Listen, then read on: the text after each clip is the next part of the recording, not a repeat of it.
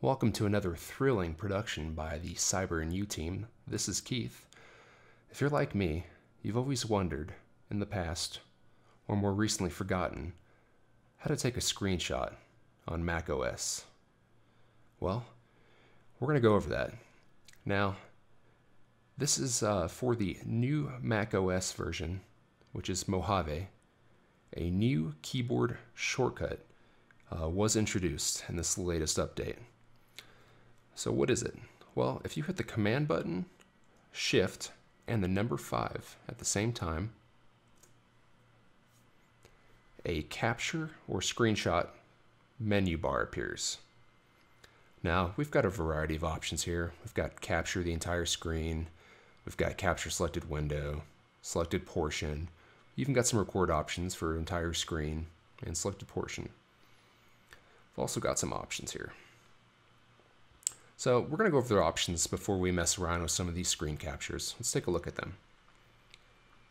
So as you can see, your default save option is your desktop. Now you can change that to whatever you want. Uh, let's say you want to change the documents, you can go ahead and do that. Um, for all practical purposes, we're going to leave it desktop just to show you guys that the captures or screenshots um, are easily appearing on my desktop. Now, timer.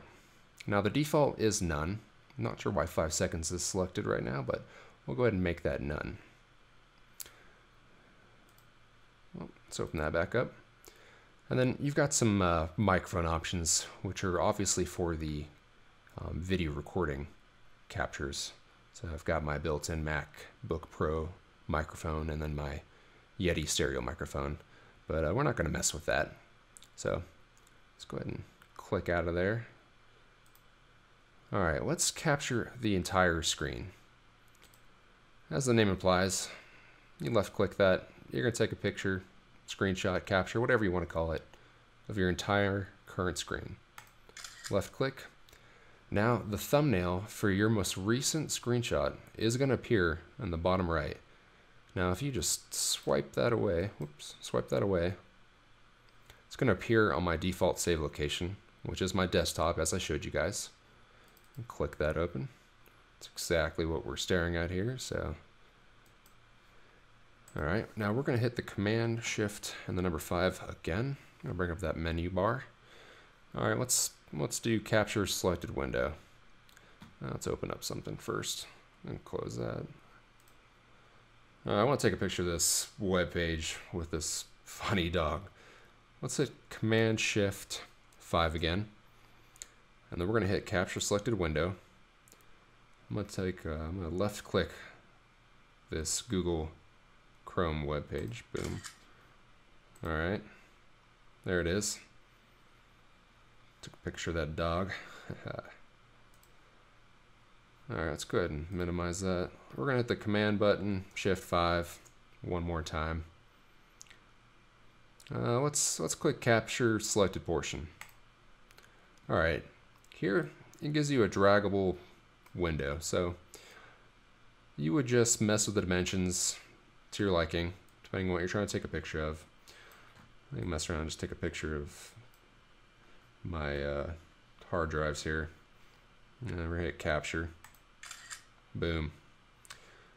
All right, let's hit Command Shift 5 again. If you want to mess around with those timer options, We'll, we'll do this with a, a, quick video record just to show you guys. We'll at five seconds. We're to hit record the entire screen. I'm to left click here. It's to give me a countdown from five seconds. And we're recording the entire screen. Let's move some stuff around. Boom. Alright, to stop that, we're to hit this little stop button up here. And in similar fashion, the video thumbnail is in the bottom right. swipe it away again. Or you can simply left click it and it'll bring it up that way as well. I double click this and open it just to see if it... Alright, yep. Move my mouse. Threw some screenshots around. Did its thing. Alright guys, and that's it. That's how you uh, use the new keyboard shortcut on the Mac OS Mojave. As always, if you guys found this video useful or enjoyed it, um, go ahead and hit that like and subscribe button. Also, follow us on Twitter at Cyber and U1 for the latest tutorials, blogs, reviews, and much more. Thank you for watching.